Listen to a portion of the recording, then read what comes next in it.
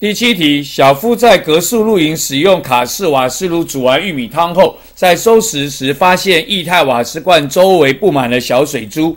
下列有关于此现象的叙述何者正确？我们知道，这既然叫小水珠，应该就是水蒸气凝结的结果。那么，所以 A 选项液态瓦斯溢出附着于罐上是不对的。瓦斯罐是密封的，液态瓦斯是不会溢出的。所以呢，就算它溢出来之后，这个瓦斯里的丁烷在常温常压下视为气态，它也不会凝结附着在罐上，所以 B 选项呢也是错的。那当然更不可能是取所谓的化学变化，所以所以呢第七题的我们答案呢要选择的是猪。